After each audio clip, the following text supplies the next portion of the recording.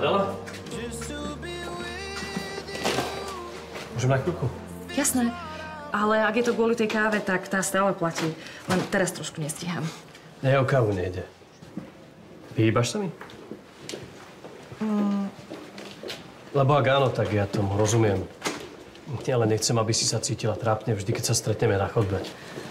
Tak to by bolo asi tak 30 krát za deň. Presne. Nie, vieš, je mi to blbé. Veď sme si to vysvetlili. Nemusí ti to byť blbé za to, že so mnou nechceš randiť.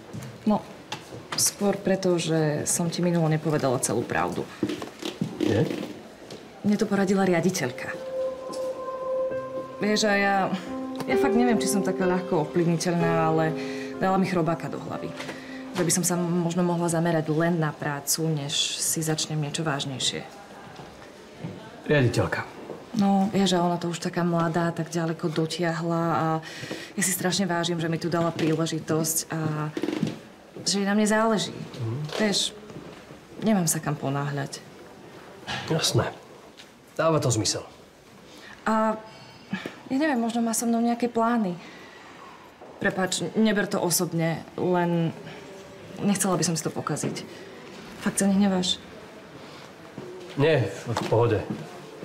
Ja si len musím teraz niečo vybaviť, ale ďakujem za úprimnosť.